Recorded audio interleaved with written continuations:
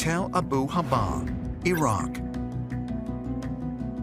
In the Iraqi desert, just 18 miles southwest of Baghdad, lie the ruins of ancient Babylonia.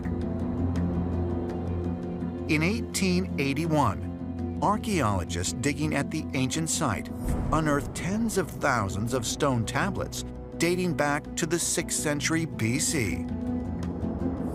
Amongst the finds was a bas-relief carving depicting the Mesopotamian sun god Shamash.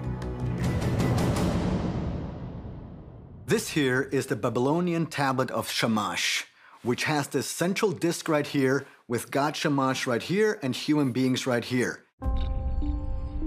What's so cool in this depiction is that Shamash is shown as if he was some type of a giant, because he's much, much bigger than the rest of the people here.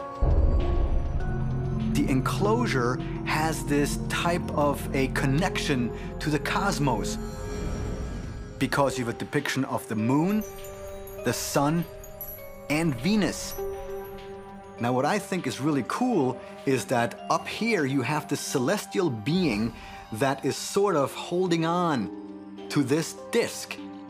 The fact that this celestial being has these two ropes attached to this disk leads me to think about misunderstood technology. The sun disk in the tablet of Shamash is described in the below text as such. The disk was sent there or put there to be worshipped in place of Shamash.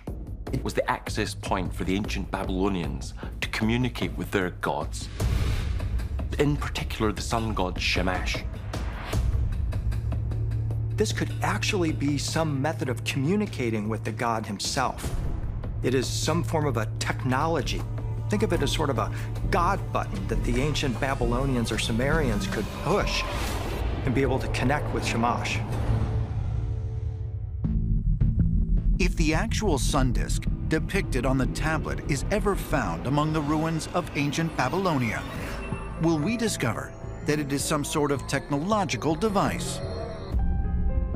Perhaps further clues can be found by examining the story of an Incan ruler who wore a disc which allowed him to wield the power of the gods.